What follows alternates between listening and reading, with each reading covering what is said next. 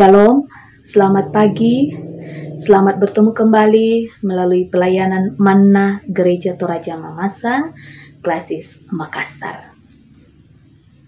Bapak Ibu, saudara-saudari yang kekasih dalam Tuhan, sebelum membaca firman Tuhan, marilah kita berdoa. Bapa kami di sorga, kami bersyukur boleh bangun hari ini, menikmati hari baru karuniamu, semua karena kasihmu. Kami rindu menjalani hari ini semuanya dalam pemeliharaanmu. Sebab itu Bapa, kami mau membaca firman-Mu. Ya Roh Kudus, kuasailah kami, baik hambamu yang akan membacakan maupun umatmu yang mengikuti, sehingga bersama-sama kami memahami kebenaran firmanmu, sehingga hidup berdasarkan firmanmu. Ampuni dosa-dosa kami Bapa, bersabdalah kepada kami, kami telah siap mendengarkan. Dalam nama Tuhan Yesus kami berdoa. Amin. Bapak Ibu, saudara-saudari yang kekasih dalam Tuhan, bacaan kita pada hari ini di dalam Injil Matius 18 ayat 6. Demikian firman Tuhan. Tetapi barang siapa menyesatkan salah satu dari anak-anak kecil ini yang percaya kepadaku, lebih baik baginya jika sebuah batu kilangan diikatkan pada lehernya, lalu ia ditenggelamkan ke dalam laut. Amin, firman Tuhan. Ibu, saudara-saudari yang kekasih dalam Tuhan, suatu ketika kami dalam perjalanan, kami menumpang di mobil salah satu anggota jemaat. Dalam kendaraan ini ikut juga ada seorang anak kecil yang dibawa ibunya umur dua setengah tahun. Nah karena karena jalanan ini tidak terlalu mulus, maka suatu ketika ada lubang yang agak besar, mobil ini terperosok dan kami semua terguncang. Nah, Anak kecil ini di usia dua setengah tahun ini spontan ia berkata, Haji-haji om. Dari ungkapan anak ini, kita orang dewasa pasti enggan mengingatkan yang sedang mengemudi mobil. Namun dia anak yang umur dua setengah tahun itu spontan. Dia polos. Inilah yang kita mau petik dari kisah yang saya alami ini bahwa kepolosan anak tidak ada duanya. Hari ini kita membaca tentang anak. Tuhan Yesus dengan tegas berkata, tetapi barang siapa menyesatkan salah satu dari anak-anak kecil ini yang percaya kepadaku, lebih baik baginya jika sebuah batu kilangan diikatkan pada lehernya, lalu ia ditenggelamkan ke dalam laut. Anak adalah karunia Tuhan yang terindah. Anak adalah titipan Tuhan bagi tiap-tiap orang tua yang harus diajar dengan baik, terlebih sekaitan dengan imannya. Anak-anak yang Tuhan beri bagi kita sebagai anugerah ini penting bahkan sangat penting untuk dibimbing, dididik dengan sebaik-baiknya.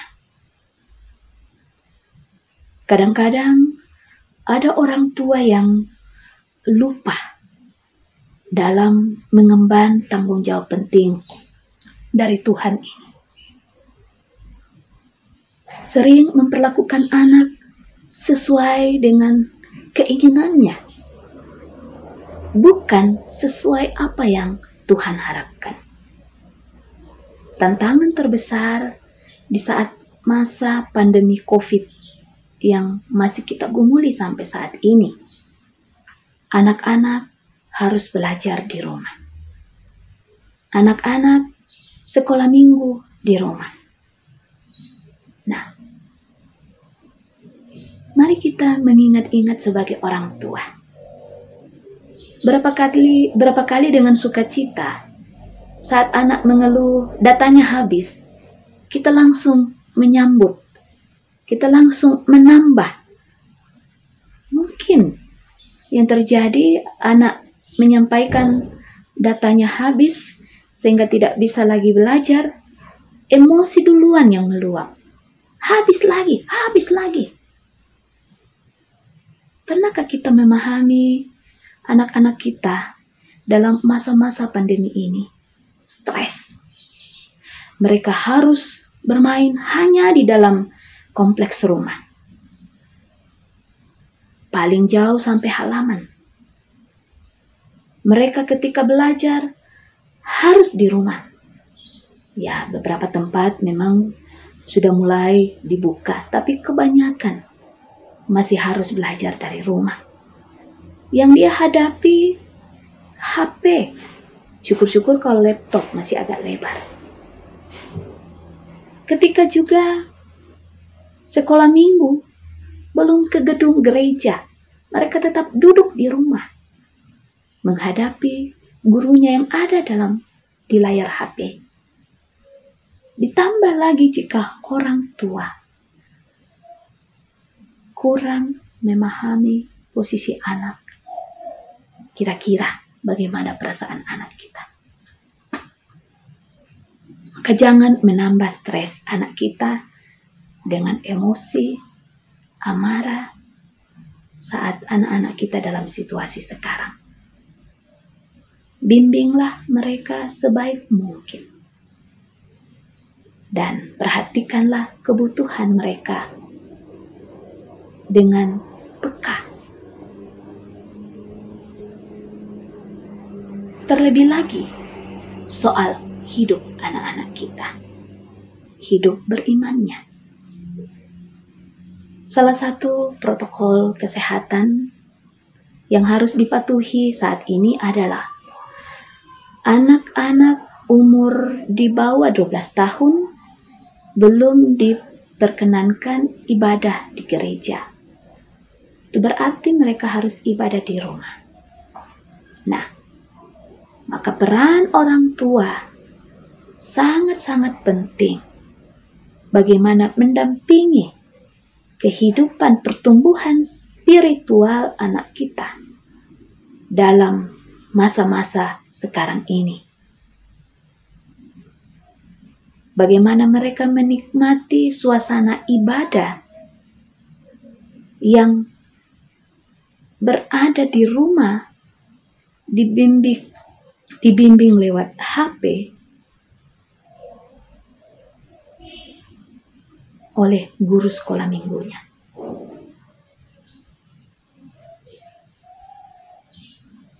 Tentu ini adalah tantangan berat. Namun, inilah yang sesuai dikehendaki oleh Tuhan. Sebagaimana dalam ulangan pasal 6 ayatnya yang ketujuh. Di sana dikatakan, haruslah engkau mengajarkannya berulang-ulang kepada anak-anakmu dan membicarakannya apabila engkau duduk di rumahmu, apabila engkau sedang dalam perjalanan, apabila engkau berbaring, dan apabila engkau bangun. Firman Tuhan telah menunjukkan betapa penting kita memperhatikan pertumbuhan kehidupan beriman anak kita itu mula-mula berangkat dari orang tua. Sehingga apa yang kita alami sekarang ini bukan kita pandang sebagai menambah beban orang tua, menggantikan guru di sekolah, menggantikan guru-guru sekolah minggu, mengajar sekolah minggu di rumah. Tetapi ses sesungguhnya inilah tanggung jawab kita orang tua. Sebab itu, Roh Kudus terus menolong kita dalam mengisi kepolosan anak-anak kita, dalam mengisi pertumbuhan anak-anak kita dengan kebenaran firman Tuhan dan dalam seluruh yang mereka jalani. Amin. Firman Tuhan. Mari kita berdoa. Terima kasih Bapa di sorga, Engkau mengingatkan kami kembali mengenai peran kami sebagai orang tua.